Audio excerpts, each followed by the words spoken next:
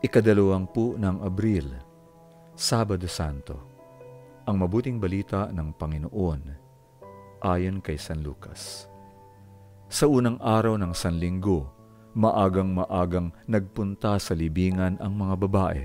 Dala ang mga pabangong inihanda nila.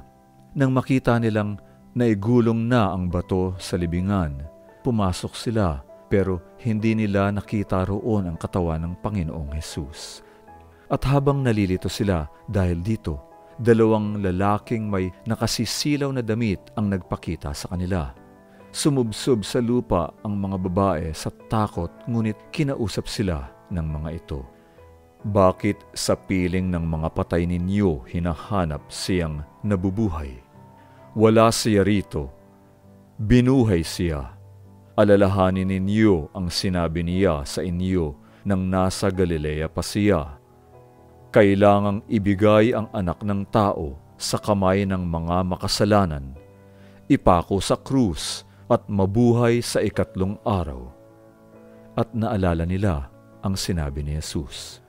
Pagbalik nila mula sa libingan, ibinalita nila ito sa labing isa at sa lahat. Sila, sina Maria Magdalena, Juana at Mariang ina ni Jaime. At gayon din ang sinabi sa mga apostol ng iba pang mga babaeng kasama nila. Pero hindi sila naniwala sa kanila, kundi inakala nilang guni-guni lamang ang lahat ng ito. Gayunpaman, tumindig si Pedro at tumakbo sa libingan. Yumuko siya at ang mga telang linen lamang ang nakita. At umuwing nagtataka sa nangyari. Ang mabuting balita ng Panginoon pagsasadiwa. Bakit sa piling ng mga patay ninyo hinahanap siyang nabubuhay? Kapansin-pansin na kapag Biyernes Santo, napakaraming nakikipagprosesyon. May mga simbahan pa nga na pabalik na ang unahan ng prosesyon pero hindi pa nakalalabas ang Santo Sepulcro. Pero pagdating na ng Sabado ng gabi, sa pagdiriwang ng pinakadakilang kapistahan ng iglesia, halos kalahati na lamang ang dumadalo. Marami ang nais na makipaglibing, ayaw namang makipagdiwang sa muling pagkabuhay ni Jesus. Hindi natatapos ang istorya ni Jesus sa kanyang pagkamatay. Muli siyang nabuhay. Ito ang pinakapangunahing batayan ng ating pananampalataya.